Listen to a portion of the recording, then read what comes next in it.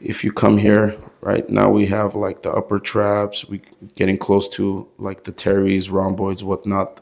Uh, we could even, let's have you get your arm across to the other side, open up this space, and like we could really just dig in there. So this is where both hands might give you more control. Okay. There we go. Beautiful. It gets it done fairly quickly. Okay. Look at that. Beautiful.